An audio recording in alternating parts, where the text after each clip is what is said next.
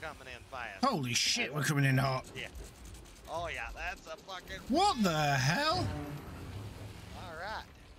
Did we just like come in and hit the wind or something? Like, Jesus.